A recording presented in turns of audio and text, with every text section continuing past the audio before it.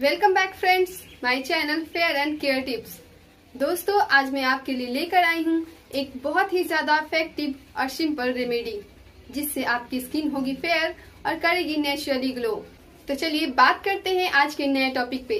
तो दोस्तों, अगर आपको मेरे द्वारा दी जा रही जानकारी अच्छी लगे तो वीडियो को लाइक शेयर करें चैनल को सब्सक्राइब कर बेल आइकन को प्रेस करें, साथ ही साथ कमेंट करना ना भूलें।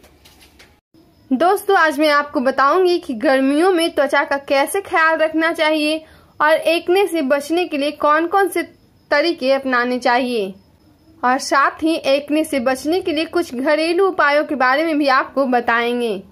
गर्मियों में लोगों को स्किन और हेल्थ की कई तरह की समस्याओं से जूझना पड़ता है। आजकल देश में कोरोना संक्रमण के बिगड़ते हालात की वजह से लोग घरों में कैद हैं। ऐसे में दिलो दिमाग में कई तरह के निगेटिव ख्याल भी आ जाते हैं। इन सब का असर भी सेहत और त्वचा पर पड़ता है। इसीलिए आज हम आपको गर्मियों में अपनी स्किन का ख्याल रखने और एकने से बचने के लिए कुछ घरेलू उपायों के बारे में बताने जा रहे हैं, जिसकी मदद से आप गर्मी के मौसम में अपना ख्याल रख सकते हैं। इससे मुहासे जैसी त्वचा संबंधी समस्याओं से भी बचाव होगा। तो चलिए जानते हैं कुछ बेहद कारगर घरेलू नुस्खे।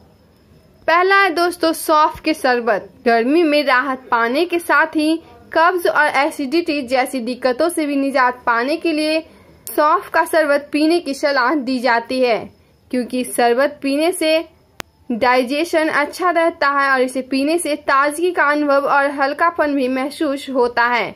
सौंफ का शरबत मुँह से आने वाली बैड स्मेल से छुटकारा दिलाता है और बॉडी को भी डिटॉक्स करता है। दूसरा है खसखस के पानी। गर्मियों के मौसम में खस का इस्तेमाल करना शरीर के लिए काफ़ी फ़ायदेमंद होता है। इसके लिए आप खस की कुछ जड़ों को पानी की बोतल में डालकर रख दें। तीन घंटे बाद यह पानी पी ले। अब पानी का इस्तेमाल तीन दिनों तक किया जा सकता है। इसके बाद बोतल से खस को निकाल कर अलग कर दें और धूप में सुखाकर दोबारा इस्तेमाल करें। इस पानी को पीने से ताजगी और हल्कापन महसूस होगा। पानी में दूसरी बार खस को इस्तेमाल करने के बाद अगर आप चाहें तो इसको बॉडी स्क्रबर के तौर पर भी यूज़ कर सकते हैं। इसके इस्तेमाल से गर्मी के दिनों में बॉडी पर होने वाले दानों से निजात पाई जा सकती है।